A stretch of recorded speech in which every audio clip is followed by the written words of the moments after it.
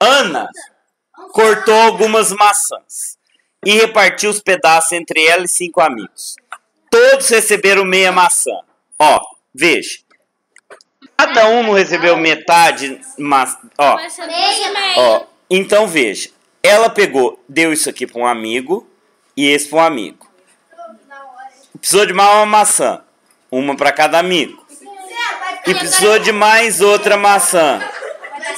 E esse final é da Ana. Ah, acho que eu errei.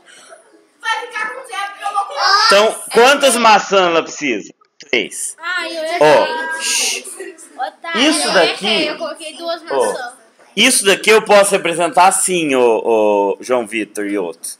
Dois, duas. Não, é pra você prestar atenção. Duas e meia. Isso, Ah, é um número misto. Eu,